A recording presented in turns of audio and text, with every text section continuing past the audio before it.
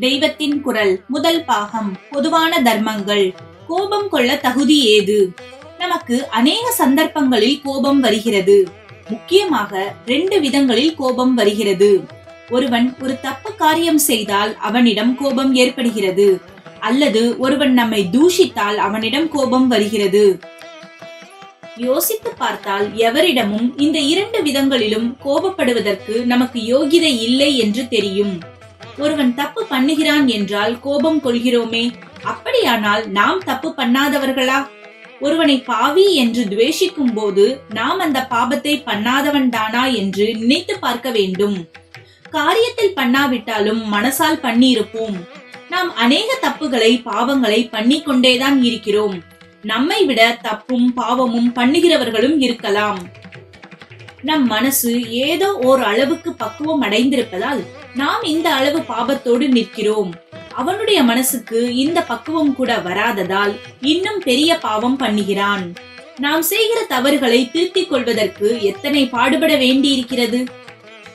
நம்மையும் விட மோசமான நிலைக்கு இறங்கி பாவங்களை செய்ய பழகிவிட்ட இன்னொருத்தனின் மனசுக்கும் அதிலிருந்து மீளுவது சிரமமான காரியம்தான். அப்படிப்பட்டவனோடு நாம் சேர்ந்திருக்க வேண்டும் என்பதில்லை. அசத் சங்கத்தை விட்டு சத் சங்கத்தில் சேர்வதுதான் ஆத்மாபிவிருத்திக்கு முதல் படி என்று சகல சாஸ்திரங்களும் சொல்கின்றன. ஆனால் பாபிகளை நாம் வெறுப்பதிலும் அவர்களை கோபிப்பதிலும் பயனில்லை. அவர்களுடைய மனசும் நல்ல வழியில் திரும்ப வேண்டும் என்று பிரார்த்திப்பதொன்றே நாம் செய்ய வேண்டியது. ஈஸ்வரா ஈஸ்வரானுகிரகத்தில் நம்மில் யாருக்காவது அனுகிரக சக்தி கிடைத்திருந்தால் அதை இந்த பாவிகள் கடை தேறுவதற்கே உபயோகிக்க வேண்டும். நம் கோபம் எதிராளியை மாற்றாது. அவனுக்கும் நம்மிடம் கோபத்தை வளர்ப்பதுதான் அதன் பலன். இரண்டு பக்கங்களிலும் துவேஷம் வளர்ந்து கொண்டே போகும். ஒருத்தன் தன் தப்பை தானே உணர்ந்து திருந்த செய்யாமல் நம் கோபத்துக்கு பயந்து சரியாக செய்வதில் நமக்கு பெருமை இல்லை. இது நிலைத்தும் நிற்காது. அன்பினாலேயே பிறரை மாற்றுவதுதான் நமக்கு பெருமை. அதுதான் நிலைத்து நிற்கும்.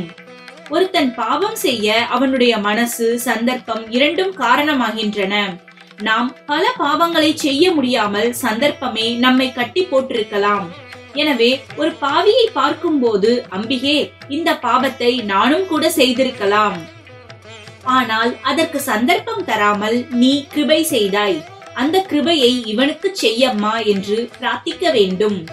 இரண்டாவதாக நம்மை ஒருத்தர் துவேஷிக்கிறார் என்று கோபம் கொள்ள வேண்டியதில்லை. நாம் எத்தனை தூஷணைக்கு தக்கவர் என்பது நம் உள் மனசுக்கு தெரியும். ஒரு கால் நம்மை தூஷிக்கிறவர் நாம் செய்யாத தவற்றுக்காக நம்மை திட்டிக் கொண்டிருக்கலாம். ஆனால் நாம் செய்த தவறுகள் அதைவிட பெரியவை என்றும் நம் அந்தரங்கத்துக்கு தெரியும்.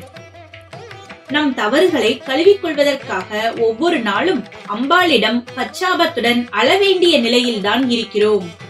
இந்த நிலையில் உள்ள நாம் பிறரை தப்பு கண்டுபிடித்து கோபிக்க நியாயம் ஏது? நாம் தப்பே செய்யவில்லை என்றால் அப்போது பிறரை கோபிக்கலாமா? என்றால் இப்படி தப்பே பண்ணாத நிலையில் நாம் அன்பு மயமாகி விடுவோம். அப்போது நமக்கு பாவியிடமும் கருணை தவிர எந்த பாவனையும் இராது. கோபமே உண்டாகாது. நாம் தப்பு செய்தவர்கள் என்றாலோ நமக்கு பிறரை கோபிக்க யோகிதை இல்லை. தப்பே பண்ணாத நிலையிலே எல்லாம் அம்பாளின் லீலைதான் என்று தெரிகிறது. லீலையில் யாரை பூஷிப்பது யாரை தூஷிப்பது எப்படி பார்த்தாலும் கோபம் கூடாதுதான். மனுஷனை பாபத்தில் அழுத்துகிற இரண்டு பெரும் சக்திகள் காமமும் குரோதமும் என்றார் ஸ்ரீ கிருஷ்ண பரமாத்மா.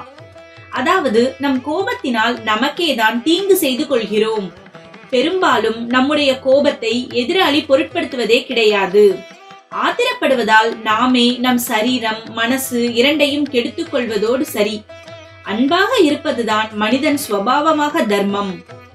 அதுதான் ஆனந்தமும். அன்பு நமக்கும் ஆனந்தம் எதிராளிக்கும் ஆனந்தம். அன்பே சிவம் என்பார்கள். நாம் எல்லோரும் அன்பே சிவமாக அமர்ந்திருக்க பிரயாசைப்பட வேண்டும்.